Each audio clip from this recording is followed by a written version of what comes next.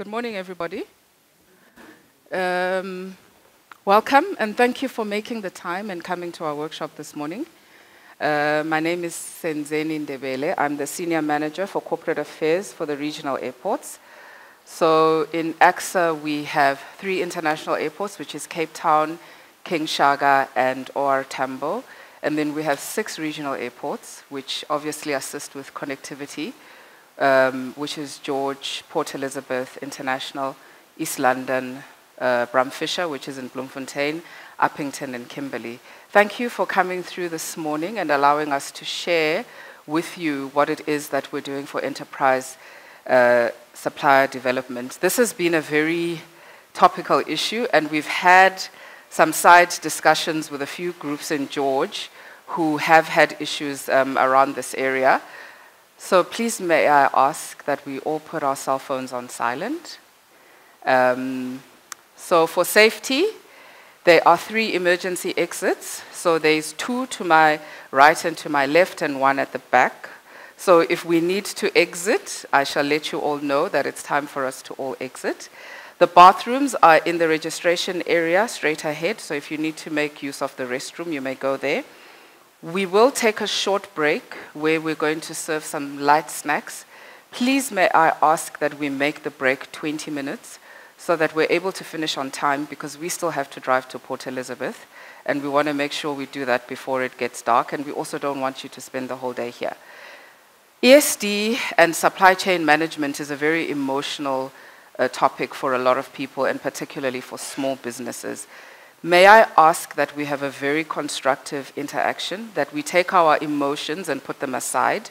Let's do the business of the day and take care of that.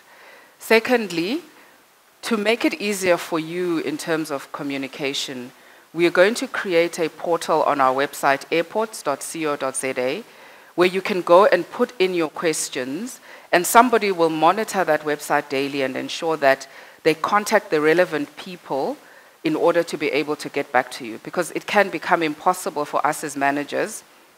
Imagine we had close to 500 people in Cape Town. If every single one sends Tutuzeli an email, he probably would not be able to respond every day. But if we have a portal, it also assists the next person because when we have frequently asked questions, people can go and refer back to the questions that everybody else is looking at. So it makes it easier for us in terms of management.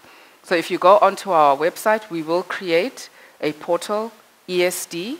So if you go onto our website, airports.co.za, you'll be able to put in your questions there. So I'm not here alone today.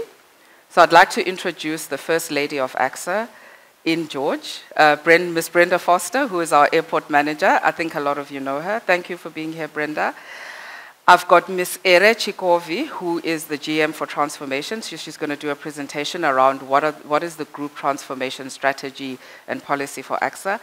I have Mr. Mtutuzeli Mboniswa, who is the general, who is the general manager for supply chain management, and I also have Mr. Rian Hamid, who is the Senior Financial Controller. So for those of you who are already doing business with ACSA, he will be able to explain to you what is it that we do in terms of payments, how do we handle your payments, and how do we do all that.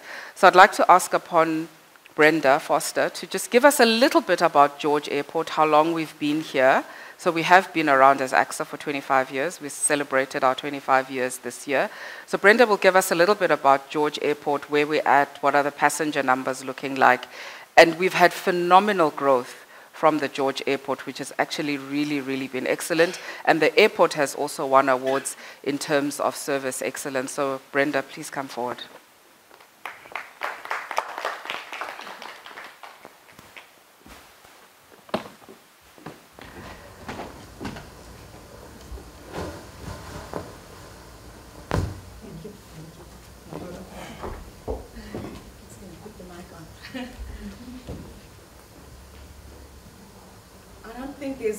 Much I can tell you about George Airport. I think the entire city is very proud of us having our own airport. Let, let, let us uh, just give you a bit of background. Maybe it's more just for our colleagues from Joburg as well. Um, George Airport actually opened in 1977.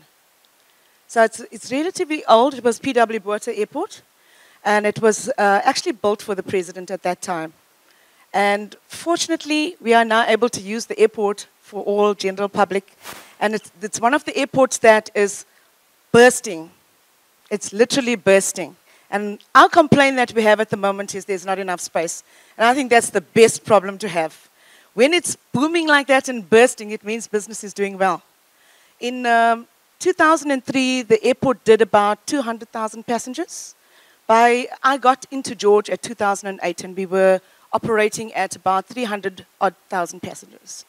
10 years later, we are doing over 800,000 passengers. And that airport can only manage, the capacity load is 800,000 passengers. So, business as usual, the airport is ready to expand. So, for, for the people that are so proud of George Airport, because it's the first point of entry to the garden route, we are going to be increasing the space. We are going to make sure that our passengers are comfortable, and we're going to make sure that we keep the award in George. So without further ado, Senzeni, thank you very much. I uh, just hope that everybody's going to enjoy themselves. Even if people are not here today, you still have an opportunity to spread that, that email address around and ask the questions so that you can also do business with Airports Company. Thank you.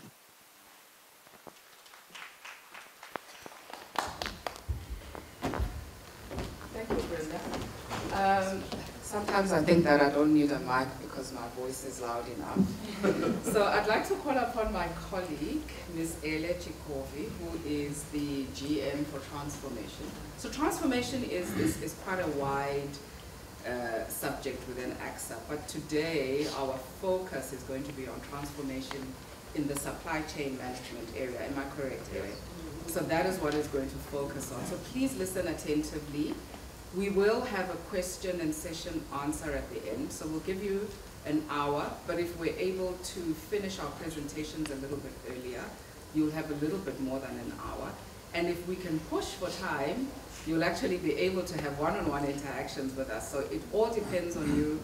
And it's always great to have that one-on-one -on -one as well. So we'll also try to afford you that opportunity. So I won't waste any time, and I'll ask my colleague, Eric. Coming up the stairs.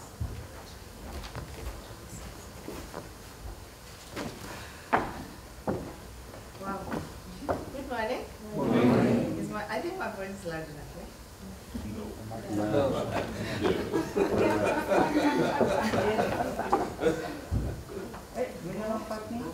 Thank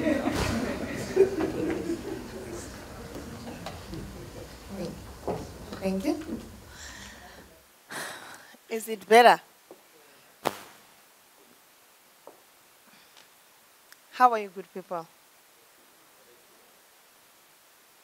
Sawubona. Molwe. More. Good morning.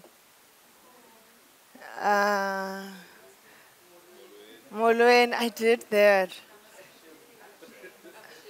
Namaste. Uh, Dimachero. Ah, it's like others are like, where is she going now? I think um, my role in ACSA and part of the national agenda is diversity and inclusion. And hence I'm greeting everybody in their own language because we can all agree that we are all diverse, but we need to be inclusive, right? For. My uh, presentation is very short. I think the order of the day is, I always say that it's my mchana. You know when you've got a nephew that you love so much because he does all the good things and he makes me shy. Because I don't do the work. He does the work. He does the work. I'm just going to give you a little brief about the airports company. I think my colleague Brenda has given us the just a brief summary of the George Airport. It's always good to learn every day. Brenda, I didn't know that initially that was the president's airport. Wow. Isn't it a transformation on its own?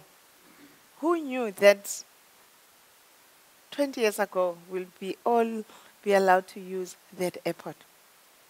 So clearly, it means there is some change that is happening, right? So, part of George has been part of a journey for the airports company. Um, after 94 or before 90, yeah, before 94, we all know that it used to be called Jan Smuts, the Johannesburg airport and whatever. And that journey has been rolling all along. And to date, we are proud to be working for one of the best airports company. I think across Africa, I stand to be corrected, but clearly Brenda has spoken about awards. That shows that we really are striving to become a sought after company in 2025.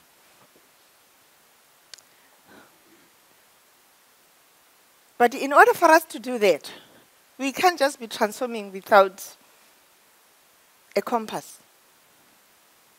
In order for you to be able to participate in this journey, you need to understand where we are going. So ACSA have got three areas. Who knew that ACSA is, doesn't own any airlines? You know, each time you tell people that you are working for ACSA, you say, can I get a ticket? Isn't it? People think that we manage airlines. We don't. But we run airports. We are there to make sure that they park on time and they depart on time. And when you are there, all the facilities that are available, they are well managed. That's what we do on a daily basis to make sure that everything that we are doing is efficient, it's effective. How often do you run around and then you, while you are still in one queue, they say, no, no, no, the boarding gate has changed, you need to rush. It's work. It's what we do on a day to day. It's because sometimes somebody parked late and now we had to give somebody space. That's part of the running. And also is to make sure that we develop more airports.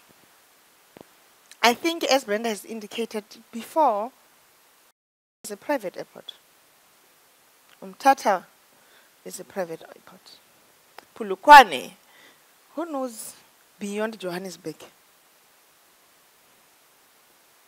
At least sometimes I go to places and they say, Where is that? You know, they don't know it's Polokwane. Polokwane is the old Pietersburg. okay, so it's one of those that are not developed by us. They are state owned, but they are military based. So, one of the things that we do, we improve airports so that they reach the aviation standards because we are the only company in South Africa who's been given the mandate to ensure that all the state owned airports are up to scratch, according to aviation. The last one, because we want to become a sought after, it means we need to grow our footprint. I would love to see some of you here when we are in this journey together to be part of contracts that we journey together outside South Africa where you'll be doing work because then when we grow our footprint, we need to bring our soldiers along. But that is dependent on yourselves, depending on the type of expertise and the skills that you have as entrepreneurs, as businessmen and women, that you say we are here and we can deliver on this. And when we say we've got contracts across the country, outside the borders, whether it's SADC, whether it's global, we are able to say we have our foot soldiers who are capable of doing this. And I think that's the essence why you are here this morning, right? Now, as ACSA, we operate within the country and globally.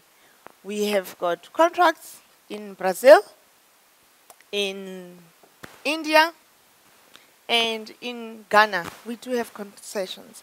So, besides managing the airports, we have got expertise on technical services, the design of the airport, some of the technology that is used at the airports. So, we have that internally. So hence I'm saying that when you start understanding what we do as an airport and the type of services that we require, then it allows you to be able to go back home and do your homework and research and get into those areas so that you are able to participate. What is our vision? Is to become a leading airport in 2025, being a sought after. You know, when you're sought after, it means you're on the F degree, right? So that's what we wish to become. And we really pride ourselves with the values that we have done. We are very passionate in what we do. We want to do it with integrity. And we acknowledge the diversity that we work with. You are diverse. The passengers that passes our airports are, are diverse. Our employees themselves, our stakeholders are diverse. But while we are doing that, we want to ensure that we do everything with excellence in order for us to create results. So that when you are outside the borders of South Africa, when you enter into another airport, you should feel proud to say, you know what, I think my airport in South Africa is better. How many of you have gone to Africa and you see some of those airports that you are not so sure whether you have landed or whether you have just gone into a ditch, but it's an airport? and it allows you to learn to appreciate some of the excellent work that is done at our airports. Now, enough about the overview. 2015, based on our national agenda to ensure that we are going to be diverse and we're going to be inclusive and we are going to create more access to those who were not given an opportunity before. And we are going to increase the participation of those who were previously not given an opportunity. I don't talk about disadvantaged. Ne? You heard me, right? I, I don't remember there's anyone who's been disadvantaged in this world. You are disadvantaged yourself. I always say that I didn't get where I am because somebody did a favor. I went there because I deserved it. It means I had the capability. Okay. Now, our, we have got an agenda. Part of running and managing and developing our footprint, we believe that as part of addressing the imbalances of the past, we need to focus on our social, our moral, and our economic imperatives. But what does that mean? Socially, you sit here coming from impoverished communities. Surely, if it was the president's crossing, it means there were very chosen few people who were there. But over time, people came for work purposes, for leisure, you name it. But clearly, we can all agree not everybody comes from the wilderness in this room, right? so clearly, it means that we need somehow to assist people to move into the mainstream of the economy so that we can all grow and at least we can somehow at least be able to manage to own an apartment, not even the big house, but at least an apartment in the wilderness. Morally, it's important for us as an organization to ensure that those who live within the operations where we are doing our business, that we uplift their lives. We can never be seen to be taking people from Johannesburg to come and do basic work of an administrator from Johannesburg. Something is not right. Are we saying that people in George don't know how to read and write? Are we saying that these people, they don't even know how to type? Clearly, then there's a problem with our education system in George. But if that's the problem, then what are we doing about it to ensure that as and when our George Airport requires people of that skill, then they are there, they are ready. Does it make sense? Similarly, with moral, we can never find ourselves having kids in those areas in which we operate, where they are battling with their education, and you and me standing here We all are gifted and we all have got expertise that we can always use. At what point do we give back? At what point do we give back? Who are engineers in this room? Construction people? Accounting? What have you done in the last 10 years to uplift somebody's life whom you don't even know? Yet you want to sit here and talk about transformation and want to participate, but you're not starting within yourself. Economically, it's a fact that in the past, there were a chosen few who were participating. It's a reality that when the doors opened, everybody was jumping up and down. It was for the first time when I saw my teacher, my former class teacher, whom I knew she was very good in English, but she was in construction the following day. She had a tender. Now, I mean, really, guys, we know that we really want to make sure that as small businesses, we want you to, to grow and participate in the mainstream of the economy. But I think we are being dishonest with ourselves. You know you're not a PR eng, but you want to provide professional services. But you don't want to partner with others. So, how are you going to grow if it's going to be me, me, me, myself, and I? You come to ACSA, and Brenda says, I have got some work. And then you come as an individual. Whereas, had you came as a group, it would have given you leverage. I don't know if you hear what I'm saying. But then, how do we action it? So, socially, morally, and economically, I think we've agreed, right? But how do we sustain that that I've just said? We all know about our sustainability goals. Globally, we are saying water is an issue, environment is an issue, gender is an issue. I'm so glad that this room is very diverse. I'm pleased to see that there's more women power, but hey, our month has passed. Ne? Sorry. But now we are entering into the 16 days of activism, which I'm not so sure we still um, celebrate because we agreed that we ain't going to be violent. We are all going to try to live harmoniously together.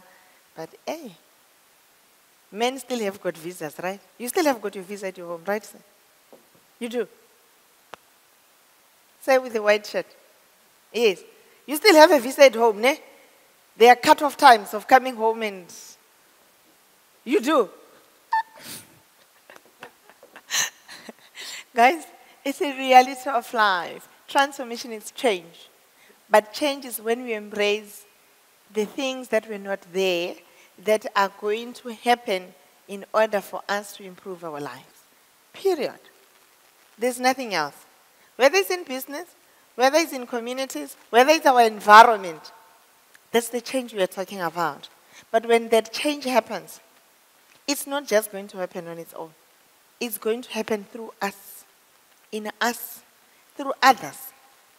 At this juncture, we are saying as South Africa um, Airports Company, we want to invite you to be part of our journey.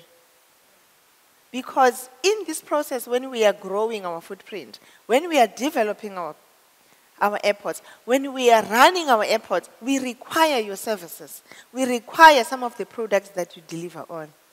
But you need to know and understand what is it that we require from you? So that you don't keep on knocking and then the doors are not opening. And then you come back and say, ah, you know, Brenda and her team, those people are useless at the airport. But maybe it's because you don't understand the requirements, right? So it's important that today we have dedicated these next two hours where my colleagues are going to share with you the importance of understanding the process of our supply chain. Because enterprise and supply development happen within the supply chain value chain. It doesn't happen outside it. Because people think that they'll come and say, I want to be part of the enterprise development. You can't just come in. You need to be part of the procurement process. But you need to be there fair and square. Not because of your color. Not because you know so and so. Just because you know me doesn't mean that you are going to get work in ACSA. You will have to follow through the same process. Because remember, when you go into Jiga Jiga, the next minute you're on TV, right? Now all of a sudden you are compromising yourself as an individual, me, ACSA, and everybody that has been part of that value chain. I think it's important. That's why one of our pride values is integrity. Ethics are important. Ethics are important. As a small business, if you are not ethical and you allow greed, you're not going to change. You're not going to achieve what you need to achieve. That much you need to understand. So, what my two colleagues are going to come and share with you, please embrace it. Listen attentively. But don't cut corners. They don't take you anywhere. They become a D value. And I'll tell you why am I saying that. When Triple B started, it, it was seen as for the chosen few. Then it moved. I just want to talk about procurement space. What happened? People went up and down people allowed themselves to be used. Because then it's my two colleagues and him and the lady. She's the cleaner, but they say she's a director. But she has no clue what they're talking about. So she allowed herself to be used because of greed, because she's thinking about the money. Can you see how easy it is? Now, over time, government has realized that this thing is just not working. And hence, they've introduced the new rules. The BE Commission is very clear. It's saying there is no more time for excuses in enterprise and supply development. They've clubbed it together because people were going and they were creating these big companies and smaller companies so that we can go and say we are 51 black. That's not important anymore. But what about the young ones that are coming, the emerging ones? I call you briefcase people. I get not everybody has got an office here. Or does everyone has an office? You don't, ne?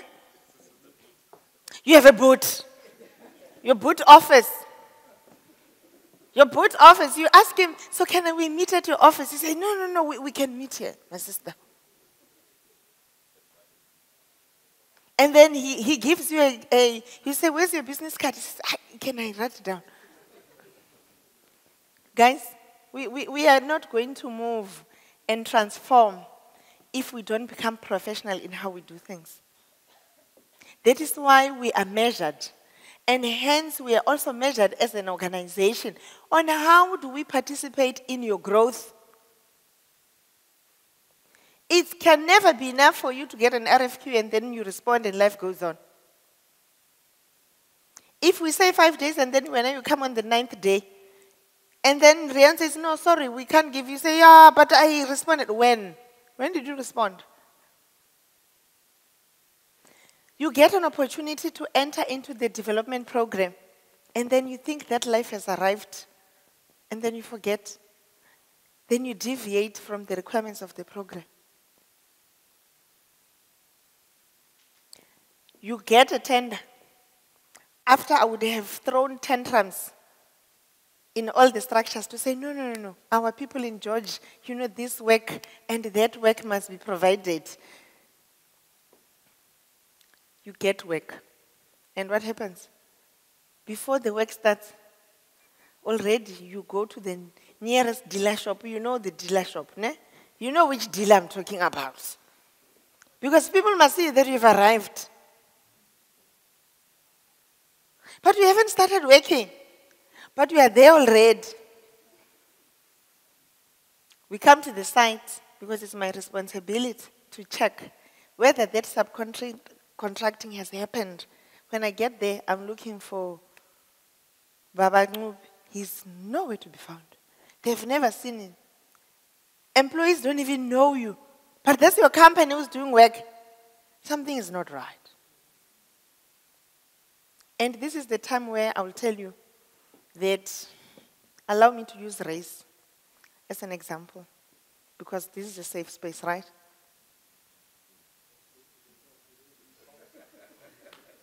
Is it a safe space? Is it a safe space?